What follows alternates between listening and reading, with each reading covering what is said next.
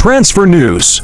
Manchester United have agreed a deal to sign Brazil winger Antony from Dutch side, AFC Ajax Amsterdam. The BBC and Sky Sports reported on Sunday.